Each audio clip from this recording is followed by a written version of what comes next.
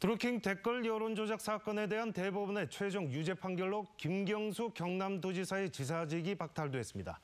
동남권 메가시티란 큰 그림을 함께 그려온 부산시는 현안이 흔들리지 않을지 우려하는 모습입니다. 윤파란 기자입니다.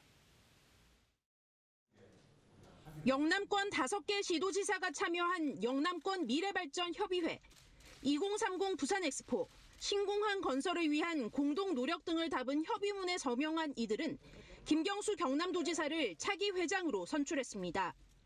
하지만 하루 뒤 김 지사는 징역 2년의 확정 판결을 받고 지사직을 잃게 됐습니다. 대법원이 내린 판결에 따라 제가 감내해야 될 몫은 온전히 감당하겠습니다.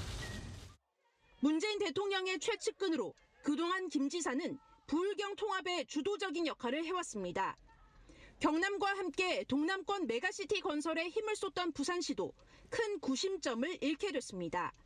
김경수 지사가 가졌던 부울경 상생 메가시티의 그런 협치의 정신을 기조가 유지될 것으로 기대합니다. 거기에 따라서 우리 부산시도 똑같은 그런 입장으로 부산과 경남이 오랜 세월 대립각을 세워온 신공항, 물 문제 등 주요 현안은 김 지사 임기 3년여 동안 의미 있는 진전을 이뤘습니다.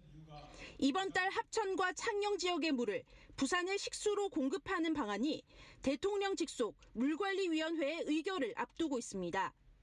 가덕 신공항 역시 사업의 첫 단추인 사전 타당성 조사에 돌입한 중요 시점입니다.